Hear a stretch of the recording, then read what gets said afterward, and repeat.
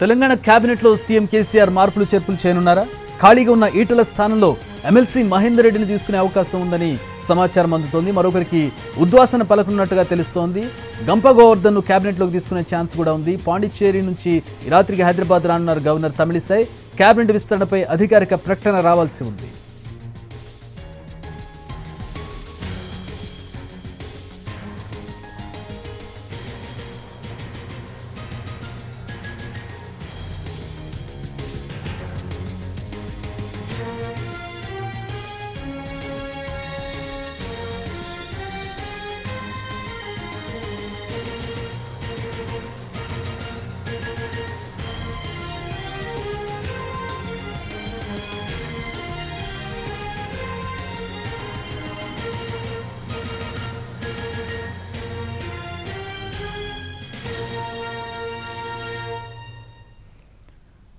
Right cabinet విస్తరణకు సంబంధించి Telangana cabinet విస్తరణకు సంబంధించిన సమాచారం చూస్తున్నాం. అధికారిక ప్రకటన ఇంకా రావాల్సింది గంప గోవర్ధన్ కేబినెట్లోకి తీసుకునే అవకాశం కనపడుతుంది. ఎమ్మెల్సీ మహేందర్ రెడ్డిని కేబినెట్లోకి తీసుకునే అవకాశం కనపడుతోంది.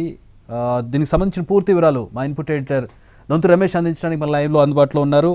రమేష్ ఏంటి కేబినెట్ విస్తరణకు సంబంధించిన సమాచారం అందుతుంది?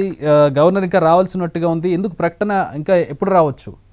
ఏ సమీకరణలు తీసుకునే కేసీఆర్ అనూహ్య నిర్ణయం ఒకటి తీసుకున్నారు. కేవలం మూడు నెలల కాలంలోనే ఎన్నికలు జరుగుతున్న నేపథ్యంలో కేబినెట్ విస్తరించాలని నిర్ణయం తీసుకున్నారు. ప్రధానంగా ఎన్నికలకు రెడీ అయ్యారు. ఇప్పటికే నూట పదిహేను నియోజకవర్గాలకు ఆయన అభ్యర్థులను కూడా ప్రకటించారు. ఇంత స్వల్పకాలం కోసం కేబినెట్ ఎందుకు విస్తరిస్తున్నారు అనేది ఎవరికి తెలియరావడం లేదు.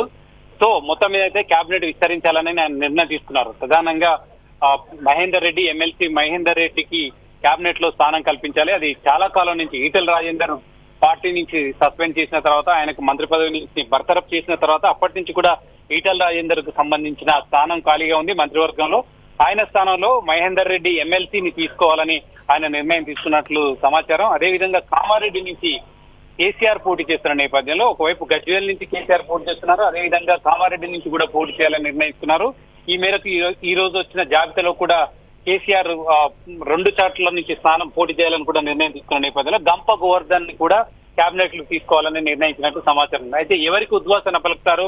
ఉన్న పద్దెనిమిది స్థానాలకు ఒకటి మహేందర్ రెడ్డిని తీసుకుంటే పూర్తి స్థాయి మంత్రివర్గం ఉన్నట్లయితుంది. కాకపోతే గంపగోవర్ధన్ని తీసుకోవాలంటే ఎవరికో ఒకరికి ఉద్వాసన పలకాలి. ఈ సమయంలో ఎవరికి ఉద్వాసన పలుకుతారు అనేది కూడా ఉత్కంఠగానే ఉంది. అసలు ఉద్వాసన పలుకుతారా? కేవలం మహేందర్ రెడ్డి వరకే పరిమితం చేసి కేబినెట్ విస్తరిస్తారని చూడాలి. మహేందర్ రెడ్డి పట్టుబట్టినట్లు సమాచారం తనకు ఎమ్మెల్యే సీటు ఇవ్వాలని చాలా కాలం నుంచి పట్టుబడుతున్నారు. ఆయన తమ్ముడు కొడంగల్ ఎమ్మెల్యే నరేందర్ రెడ్డికి ఉన్నారు ఇద్దరు కూడా పార్టీ మారుతున్నారనే ప్రచార నేపథ్యంలో ఈ రోజు ఉదయం నుంచి కూడా బుజ్జగింపుల పర్వంగానే చూడాలా రమేష్?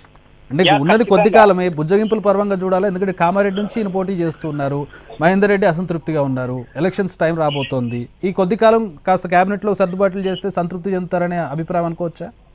ఎస్ తప్పకుండా ఇది బుజ్జగింపుల పరమే మహేందర్ రెడ్డికి సంబంధించి కేవలం ఒకే స్థానానికి పరిమితం కాలేదు. తాండూరు అదేవిధంగా కొడంగల్ స్థానం కూడా వాళ్ళ తమ్ముడు పోటీ చేసి గతంలో రేవంత్ రెడ్డి మీద విజయం సాధించారు. సో ఈ ఇద్దరు కూడా డిస్టర్బ్ డిస్టర్బ్ అవుతారు.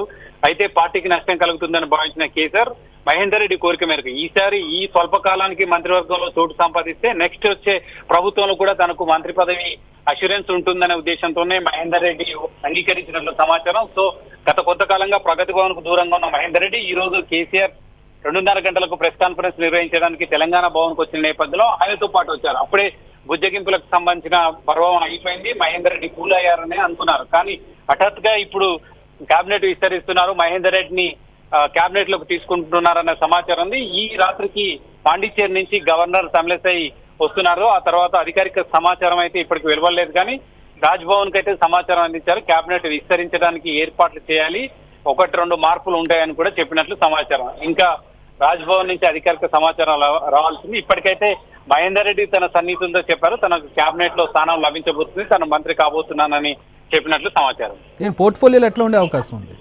ఇక తర్వాత మార్పులు చేర్పులు. స్వల్పకాలానికి కాబట్టి ఇప్పటికిప్పటికి ఆ, మార్పులు చేర్పులు ఉండే అవకాశం లేదు. ఈటల రాజేందర్కు సంబంధించిన ఆరోగ్య శాఖ ఆల్రెడీ ఇప్పటికే హరీష్ రావు చూస్తున్న నేపథ్యంలో ఖాళీగా ఉన్న శాఖలు ముఖ్యమంత్రి వద్ద ఉన్న చాలా శాఖలు ఆయన దగ్గర ఉన్నాయి. ఏదో ఒక శాఖని మహేందర్ రెడ్డి కేటాయించే అవకాశం ఉంది. ఒకవేళ ఇంకొక మంత్రిని తప్పించి గంప గోవర్ధన్ కనుక తీసుకుంటే ఆయనకు కూడా ఖాళీగా ఉన్న శాఖల్ని ఇచ్చే అవకాశం ఉంది. ఎందుకంటే ఇప్పుడు మంత్రులు ఉన్న ఉద్వాసన పలికే మంత్రికి ఏదో విధంగా ఒక శాఖ ఉంటుంది కాబట్టి అప్పగించే అవకాశం ఉంది. పెద్దగా మార్పులు ఉండవు.